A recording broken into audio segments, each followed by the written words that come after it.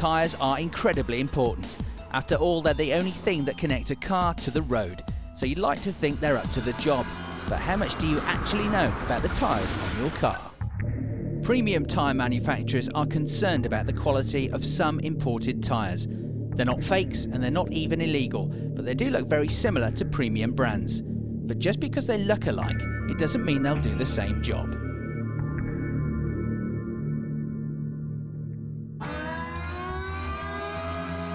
At this research facility in the Midlands, Richard Durrance is a continental tyre designer.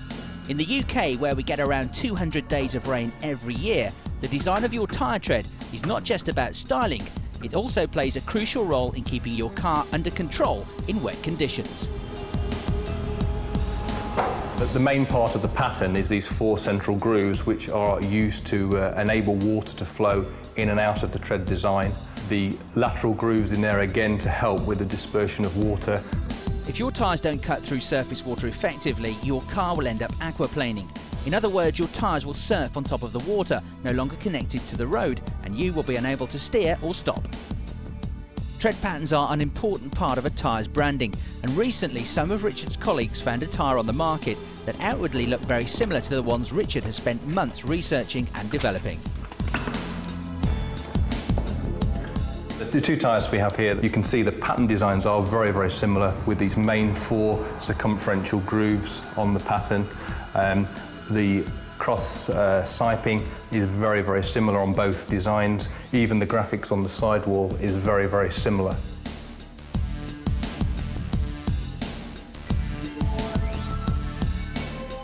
If, if, you were to walk into a tyre dealer and see these two tyres side by side, at first glance you may think they are very, very similar. In reality, there will be some big differences with the design of these tyres, with the polymers and the rubber compounds that are used in the tread. So these two tyres may look alike, but if the cheaper ones are made of inferior rubber, their performance on the road may be significantly different. To find out, both sets of tyres will be fitted to this Golf and then accelerated up to 70 miles an hour on the banked oval here at this special test facility near Hanover in Germany. The car will then hit a wet road which is specifically controlled to have a constant 1mm of standing water on it. The test driver will hit the brakes and the GPS unit in the car will measure how long it takes to stop using the Continental tyres. So 70 mile an hour, hit the brakes.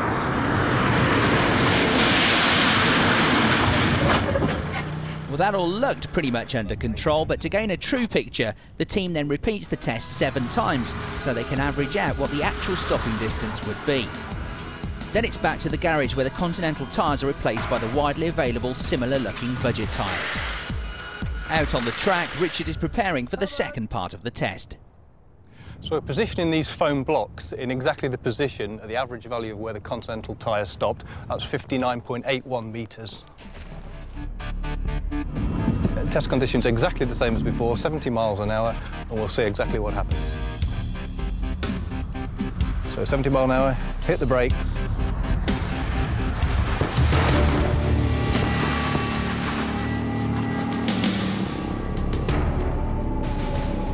As you can see, quite a difference in the actual stopping distance.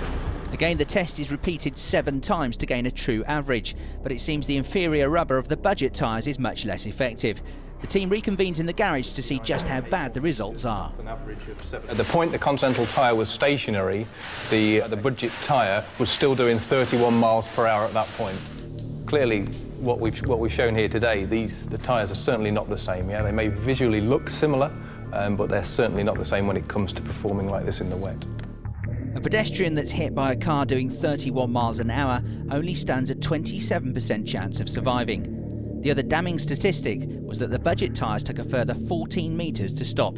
That's an extra three and a half car lengths. But the sale of these tyres in the UK is legal because incredibly there is no wet braking test that has to be passed before a tyre hits the shelves.